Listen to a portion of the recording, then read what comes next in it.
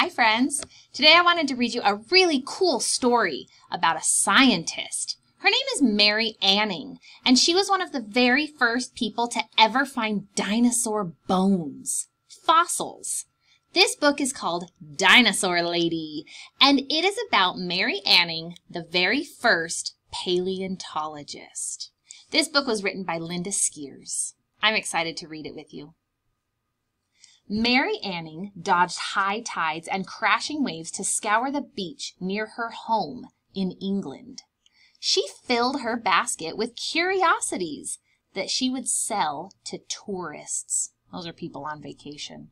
Things like seashells and fossils with fanciful local names like snake stones and devil toenails and angel wings. She scrambled over the crumbling cliffs and rocky peaks while avoiding landslides. Despite the constant danger, Mary wasn't afraid. She was determined to uncover the area's long buried secrets, no matter the risk. Do you see some cool things that Mary might like to put in her basket? There's some neat shells around here. Mary learned to read and write at Sunday school, but she wanted to learn more. She had so many questions about the bones and fossils that she found, and she needed answers. So she borrowed books and she copied scientific papers. She would sketch or draw intricate drawings of her discoveries, and she took notes, lots and lots of notes. That's something all scientists do.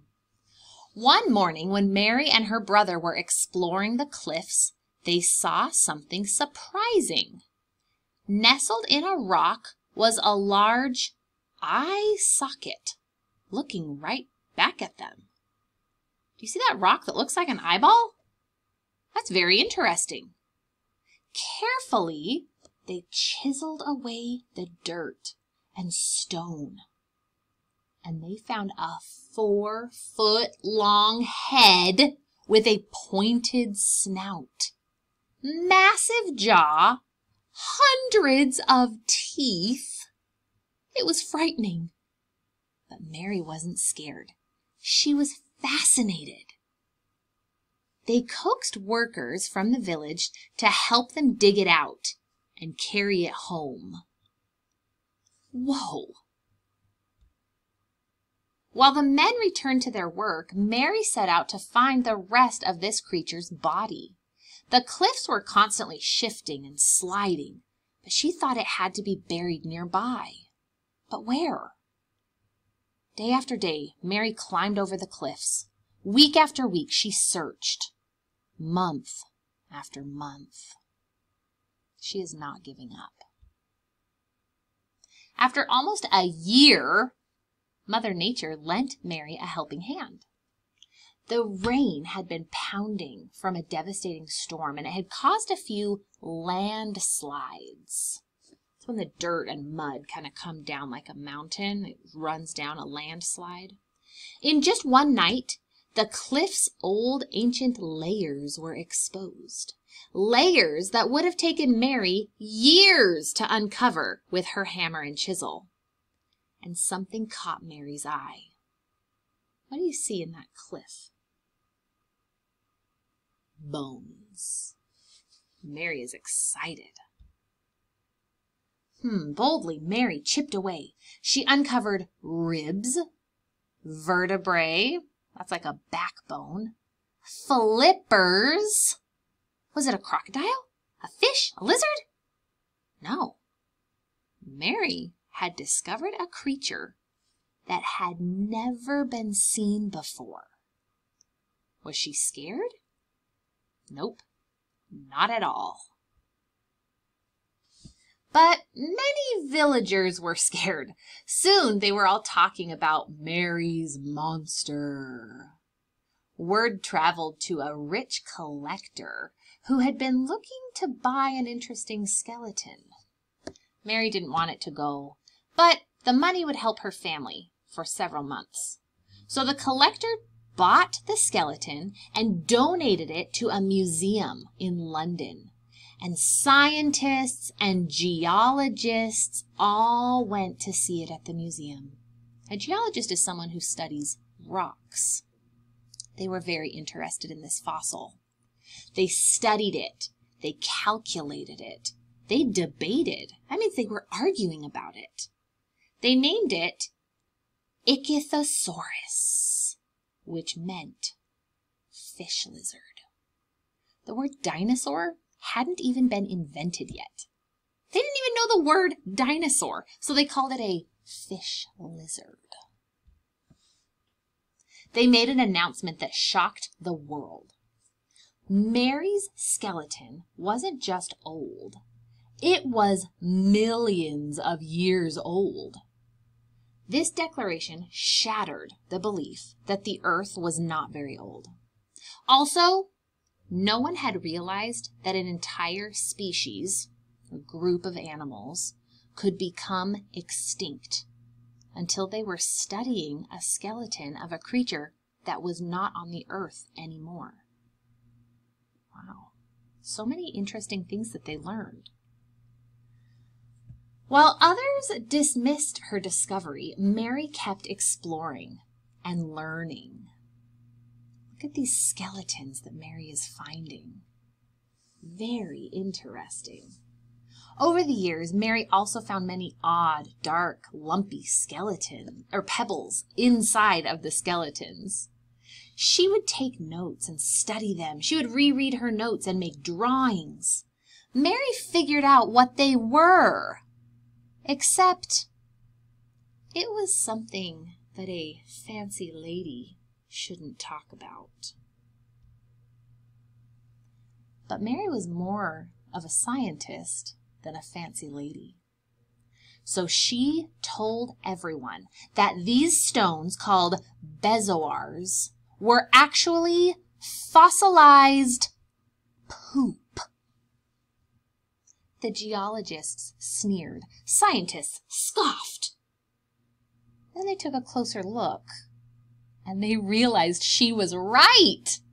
Mary had discovered something new, and this discovery helped the scholars to learn more about these ancient creatures.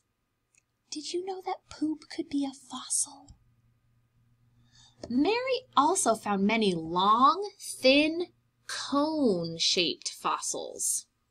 They were unremarkable, ordinary, at least on the outside. She cut one open.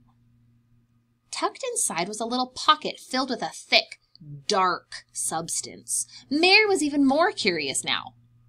Adding a few drops of water turned this substance into ink.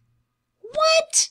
Mary's discovery proved that ancient, old creatures in the water squirted ink to hide themselves from hungry predators. Wow, she's doing lots of experiments with the fossils. When Mary was 24, she made another discovery. Look at this fossil. This creature didn't have legs or flippers. It had wings.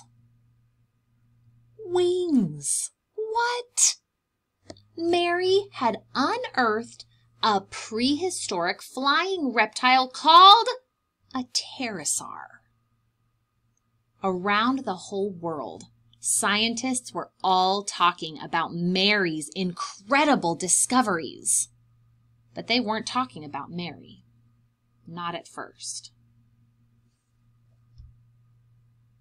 Even though Mary could identify a species from one single bone, and she could rebuild a whole skeleton like a puzzle, she wasn't allowed to join the Geological Society of London.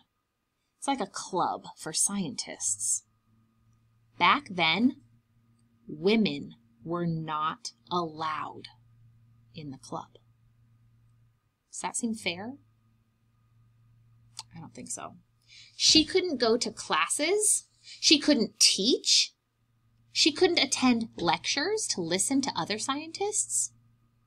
They said, no, no girls allowed. I think that's pretty rude. But Mary knew that her discoveries were important, and they might change the way that scientists view the Earth's past. And so did many other geologists, scientists, scholars. Because where do you think they went when they had questions? Straight to Mary's cottage. They were eager to learn more, and they would follow her over cliffs, even if it terrified them. And it did. Look at that. They're following Mary so they can learn about fossils from her. Just like long buried fossils, Mary's achievements have slowly been uncovered and shared with the world. Her daring discoveries helped to form paleontology. This is the kind of science that uses rocks and parts of the earth to study fossils and prehistoric life. And she did all of that with a homemade hammer, a chisel, and a never-ending quest to fearlessly keep exploring and learning. I love this story. Mary Anning was so, so, so important to help us learn about fossils and dinosaurs. Anytime you learn something new about dinosaurs, you can say, thank you, Mary Anning, because she was a really important scientist that helped us all to learn more. I want to learn more about scientists and dinosaurs too. I'm going to keep reading books about it. If you'd like to read more books about it with me, you can hit the subscribe button below and we'll read together. I also have a virtual preschool where we learn lots of new things. There's a link below for that too, so we can learn together. I hope I see you again soon. Keep reading!